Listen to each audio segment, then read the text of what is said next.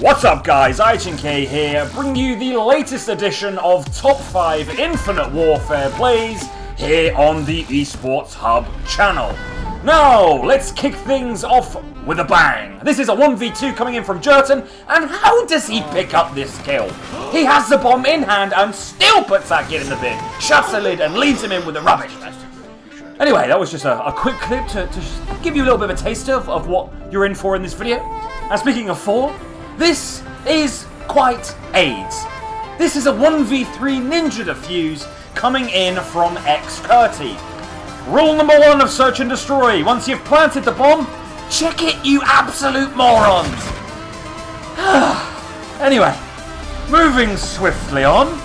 Up next in at number three, this is a clip coming in from Amnezia DLHD. I have no idea what the DLHD stands for, but I presume it's something hilarious which he came up with whilst he was in school. Anyway, this is an ace coming in on this map which I've forgotten the name of, and this is a great instant three-piece.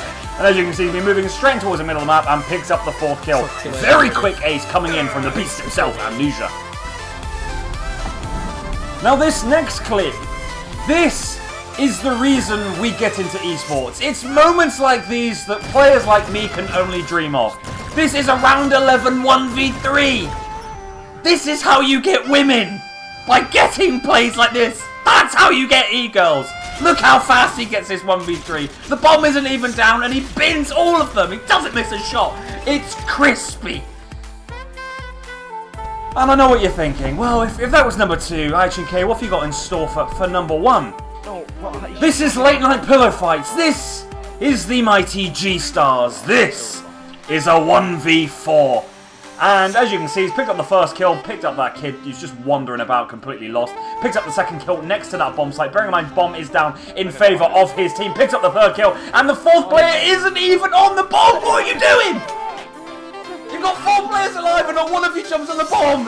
I don't know if this is an amazing play from GStarzz or an awful play from the other team, but regardless, 1v4 baby, let's go. Ties up the game at 4-4 and that could have been 5-3. But that's everything from this video. If you enjoy this commentary, my links will be in description. Hit me with a follow, I tweet absolute gold.